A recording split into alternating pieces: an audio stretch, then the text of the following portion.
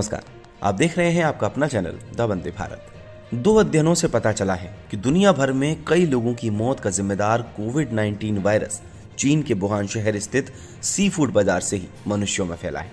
पहले अध्ययन में स्थानीय विश्लेषण के माध्यम से यह साबित किया गया कि दिसंबर 2019 में सबसे पहले आए मामले वुहान बाज़ार के ही थे।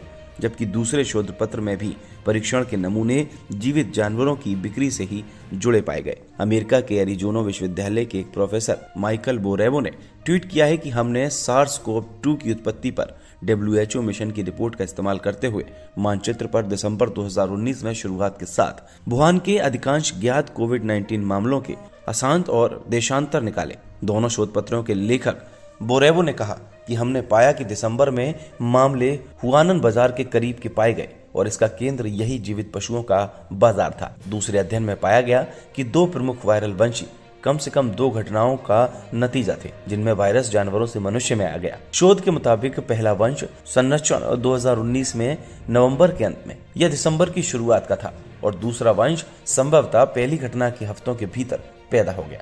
इसके बाद यह पूरी दुनिया में फैलता चला गया। वहीं लाशों को रखने के लिए कम पड़ रही जगह, स्वायत्त शासी क्षेत्र में कोरोना से इतने लोगों की मौत हो गई है कि अस्पतालों और मुर्दाघरों में लाशों को रखने के लिए जगह कम पड़ रही है। संक्रमण के मामले इससे मरने वालों की संख्या रिकॉर्ड स्तर पर छू रही है।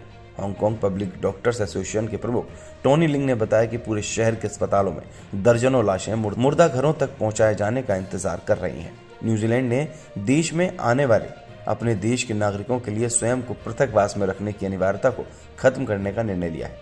वहीं प्रधानमंत्री जयसिंडा अर्डन ने कहा कि टीकाकरण करा चुके लोगों के लिए यहाँ आने के बाद एक सप्ताह तक पृथकवास में रहने की अनिवार्यता बुधवार को खत्म हो जाएगी। अगर आपको भी ये वीडियो पसंद आई हो तो इस वीडियो को लाइक कीजिए शेयर कीजिए और हमारे चैनल को सब्सक्राइब कीजिए। नमस्कार।